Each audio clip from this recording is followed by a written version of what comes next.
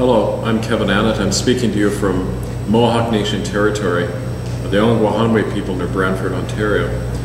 I was asked months ago to come here and help uncover what's turned out to be the remains of children who died in these Indian residential schools.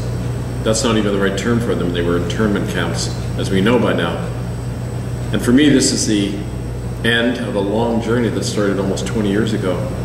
And it's the start of a journey for all white Canadians, my people, Euro Canadians who came here and were hijacked by the same religion that murdered these people.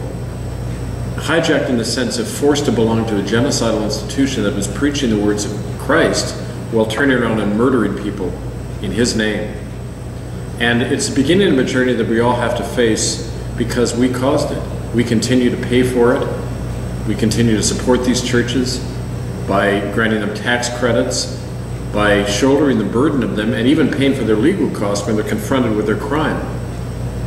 And so we really are facing a reckoning now, and it's something I've had to face in my life, but each one of us has to face in some way. Because as long as we continue to support these churches, attending them, giving them tax concessions, and granting them protection of the law, they are allowed to get away with these crimes. These are the bones of children, as young as two and three years old, died in this Indian school. Not one person has ever been brought to trial in Canada for these crimes. But now the truth of these bones is out for everyone to know. This cannot be denied anymore. This isn't about documents or people's hearsay evidence or even people's testimonies.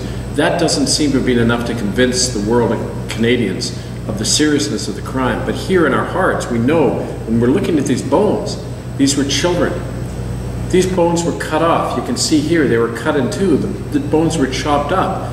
The bodies were cut up and then hidden in the ground, scattered around with bits of charcoal in that, which is a sign that they were probably burned in the furnace here. And so to remember these children and honor them, we not only have to bring them home for proper burial and confront the churches and demand the evidence from them, but we have to put these churches on trial. And the way we can begin to do that is by, in our own life, taking back these institutions.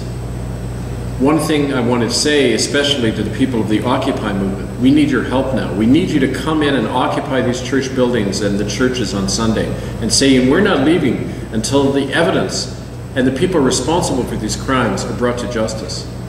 That's an appeal I'm making directly to the Occupy movement to help us.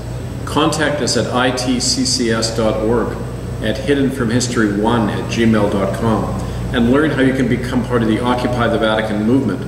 OccupyTheVatican.com, where you can learn about how this is a worldwide movement to confront the biggest and oldest criminal organization on the planet known as the Vatican.